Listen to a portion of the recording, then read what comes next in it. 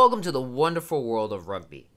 Rugby is a hard hitting, fast action paced team sport that's enjoyed all over the world and is gaining popularity here in the United States. The goal of this video is to help new or casual rugby fans learn the basics of the game so it's easier for them to watch a rugby game or match. Future videos will delve a little bit deeper into the complex laws of rugby. As we all know, there are some very complex laws so if you're curious about why certain things happen the way they do on the rugby pitch, subscribe to this YouTube channel and you can watch those videos when they drop in the future. But for now, let's stick with the basics. The game of rugby has a lot of similarities with American football, soccer, basketball, and even hockey. Like in American football, a rugby team is trying to take the rugby ball and place it down into the opponent's try zone, while their opposing team is doing everything in their power to prevent that from happening.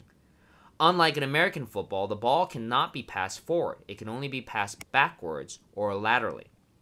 There is the rare occasion where the rugby ball can be kicked forward, but there's a lot of complexity to that strategy, and that will be explained in a future video. Unlike American football, there is no breakup in play. There are no such things as downs. A team can pass the ball backwards or laterally as many times as they want until the opposing team commits a turnover, the team carrying the ball commits what's called a penalty, or the team carrying the ball is successfully able to place the ball in their opponent's try zone and score what's called a try. Let's see that again. As you see, the team is carefully passing the ball sideways or backwards until one of the players is able to get past the try zone and place the ball down for a try. Let's watch another team score a try. As you see, the team in blue is skillfully passing the ball backwards and laterally until the number 14 player gets the ball and is able to score in the try zone. Now let's slow it down and watch that again. As you see, the number 14 player skillfully gets the ball, is approaching the try zone with that white line there, gets past the defender, is able to put downward pressure on the ball into the try zone, and that's a try. Like in American football, after a rugby team scores a try, they're allowed to kick for a conversion to try to add more points to their score. Unlike in American football, a conversion kick in rugby isn't always placed at the same spot every time. Instead, the ball is placed anywhere on the pitch as long as it lines up to where the ball was placed in the try zone when the try was scored. The further away from the uprights the ball is placed in the try zone, the harder the conversion kick can be. Let's go back to our team in blue, for example. Because the ball is placed pretty far to the right of the uprights, the conversion kick takes place further away from the uprights at an odd angle, making the conversion difficult. Fortunately, our kicker is very good and is able to convert the try. But what happens if the ball is placed closer to the uprights or practically right underneath the uprights right here? The conversion kick can be closer to the uprights and much easier to convert. In rugby, a conversion kick is worth two points instead of one. A try is worth 5 points, so like in American football, after a converted try is scored, the team can walk away with a maximum of 7 points. Now, unlike in American football, the team that scored the points receives the ball back once play resumes. Now, the reason for this is a little complicated, so just to keep it simple, try to think of rugby as a game of territory, not a game of possession. Unlike in the game of American football, in rugby, it's more preferred to play the ball regardless if you're in possession of it on your opponent's side of the field or territory, rather than play the ball even if you are in possession of it on your side of the field. Now, the reason for this is because the chances of turning over the ball or the team holding the ball committing a penalty are high. What are penalties and turnovers? Let's talk about them next. So we talked about what a team with possession of the ball does in a game of rugby, but what about the team that's playing on the defensive side of play?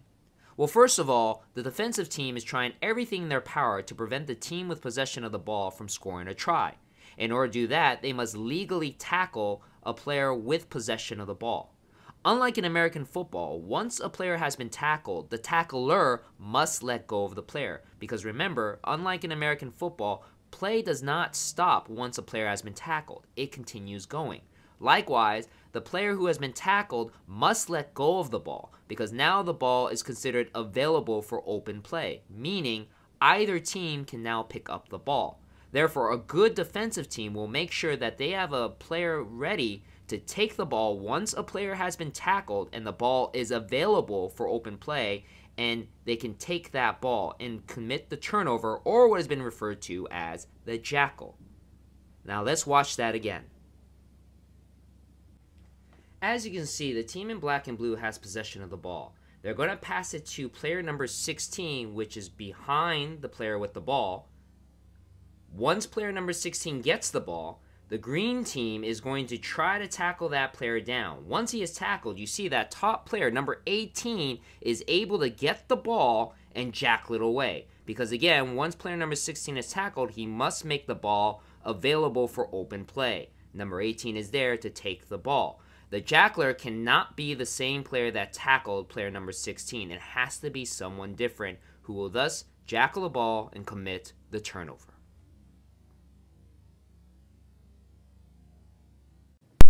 Now, there is a way for the team who has possession of the ball to prevent the ball from being jackaled, and that's by forming what's called a ruck. Now, as mentioned before, once a player who has the ball has been tackled, they must let the ball go and make it available for open play. Now, in order to prevent the ball from being jackaled, a player on the same side as the tackled player can place themselves over the ball and create what's basically a protective barrier over the ball or called a ruck. Once that ruck has been formed, the ball is now no longer available and remains in possession of the team who originally had the ball. Usually, another player will come up to the ruck, called the scrum half, and will take the ball and, like a quarterback, will now delegate the ball out either by passing it sideways, laterally, can even kick the ball away if they want to, and keep possession of the ball for their team. As mentioned before, there is no stoppage of play, so a team can form a ruck as many times as possible as long as it's done legally. So there's been many good examples of a ruck being formed in the video showing right now. So why don't we go back and take a closer look at exactly how a ruck is formed. So in this example, the yellow team has possession of the ball and the number 2 yellow player has been tackled. The number 14 yellow player goes over the down tackled player and forms the ruck. Number 9 player, the scrum half, goes behind the ruck to get the ball and passes it to one of his teammates, who then proceeds to get tackled himself. The number 5 yellow player, now as you see, is pushing out the would-be jackler to form the ruck. The number 9 player, once again the scrum half, takes the ball and passes it back to one of his teammates jackling the ball to force a turnover or forming a ruck to protect the ball requires a lot of skill and it really comes down to who gets to the ball that's made available after a tackle has been made first. Let's go back to our prior example. As you see, when the team in black and blue gets the ball, the number 16 player receives the ball. It's the jackler, the number 18 player in green, that gets to the ball before the ruck is formed. Therefore, he's able to successfully cause the turnover. Playing rugby requires a lot of skill, speed, timing, not only on the offensive side, but the defensive side as well. One more thing that should be mentioned about the ruck is that when the ruck is formed, not only does it create a protective barrier over the ball, but also forms an imaginary line that the opposing team cannot cross, therefore allowing the team that formed the ruck to safely pass the ball sideways or backwards without any interference from the opposing team. Now you're going to see a great example of this in just a couple of moments from the black team. As you see, the team in black has formed the ruck, and the team in orange is standing behind where the ruck is formed. That's where the line is.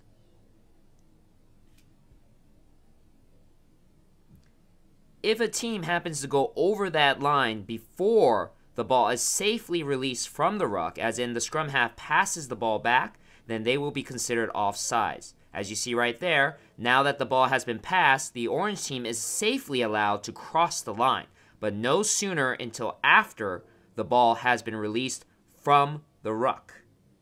Otherwise, once again, they will be considered offsides, and that is a penalty. When a penalty is committed, that is the only time in rugby when passage of play is stopped, and the offended team is awarded the ball. Now, there are many, many different types of penalties in the game of rugby, and they can be very confusing. Again, this video is a simple video. I will make videos in the future going in depth of exactly what penalties are in rugby and how they're committed. But for right now, let's focus on the penalty that was committed here. As you see, the number 10 player was tackled by the player in blue, but the player in blue did not release the tackled player, and therefore, the penalty was committed, and the team in black is awarded the ball. Now, when a penalty is committed, the team that is offended and given the ball has the option to go for a penalty kick. A penalty kick is very similar to a field goal in American football, and it's worth three points. The kick is taken from the spot of where the penalty is committed. Obviously, the closer the penalty is to the uprights, the easier the kick.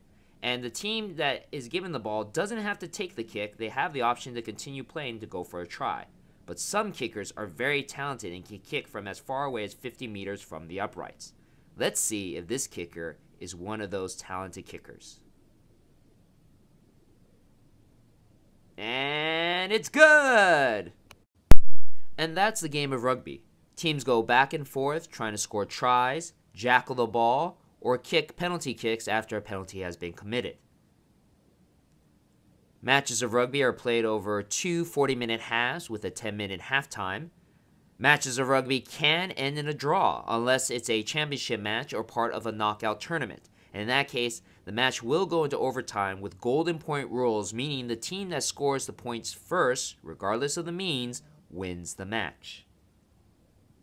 I hope that you enjoyed this video and more importantly, I hope that it gave you at least a better understanding of the game of rugby so that the next time that you watch a match, it's much more enjoyable to watch. The game of rugby is an amazing and fun game, and the only way that you really can learn more about the ins and outs of it is by watching more rugby. As mentioned before, I will create videos that will deal more with the complexity of rugby, including set plays, mauls, scrums, and of course, penalties in the future. So if you enjoyed this video, hit the subscribe and wait for those videos to drop in the future. But in the meantime, have a great day, and I hope to see you at a rugby match.